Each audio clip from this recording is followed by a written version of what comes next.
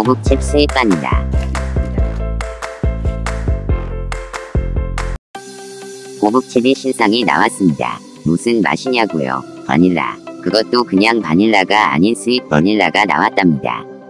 가격은 2,380원이더군요. 나온 지 좀 되었다는 것을 알았는데요. 제가 갈 때마다 마트에서 찾아보니 보이지 않아서 초코 추러스 맛처럼 대란이 일어났나 했었는데 보이니 하나는 끙 집었답니다.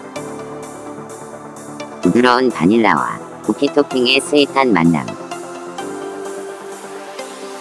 160g 834kcal로 이거 한 봉지 다 먹으면 라면 한 봉지보다 칼로리는 높더군요. 물론 가격도 높지요.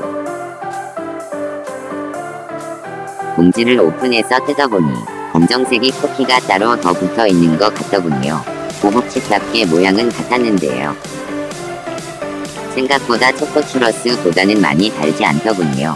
그리고 바닐라 맛이어서 호불호도 거의 없을 것 같은 과자였습니다. 아이들은 요즘 생라면에 꽂히더니 짭조름한 맛의 과자가 더 좋다며 몇 개 집어먹고는 안 먹더군요.